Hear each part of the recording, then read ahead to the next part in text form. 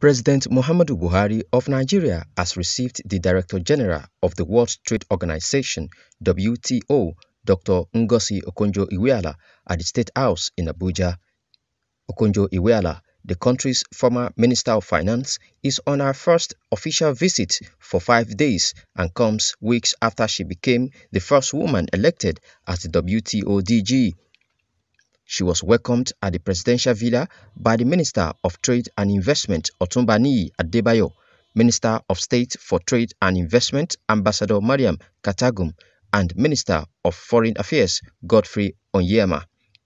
Speaking to journalists at the State House, Mrs. Ngozi Okonjo-Iweala said the purpose of her visit was to see how the WTO could better assist Nigeria and her entrepreneurs on improving the economy.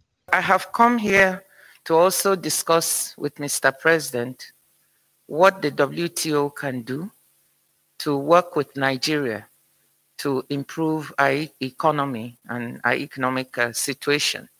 And we talked about a number of issues.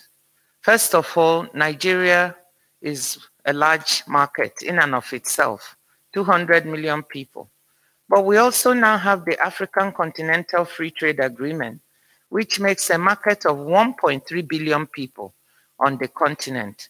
And there's a unique opportunity for Nigeria to improve its standing in trade. Currently, we're 0.3% of world trade, 19% of Africa's trade.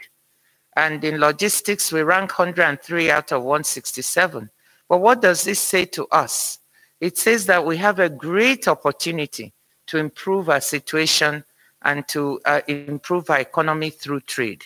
And that is really important. So we talked about issues in agriculture, how we can add value to our ag agricultural products. You can trade more if you produce more and add more value. Let's not export our jobs to the outside. So these were the issues we have in, in agriculture. I just gave Mr. President the example of shea butter and sesame seed. Nigeria is one of the largest producers in the world, and you know these are used for cosmetics. So the WTO, together with the International Trade Center, came here to, to work with women and men in a cooperative, IFEDAPO, uh, a cooperative in Shaki, in Oyo State, to try to improve the quality of their product. We were producing this, but we could not access the US or European market because the quality of our product was not good enough. But by working with the WTO, they were able to improve the quality of the shea butter that was being produced, for example. We get uh, NAFDAC approval and registration, which also opened the door for them to be able to export some of these products, sell domestically to cosmetics manufacturers, but also export.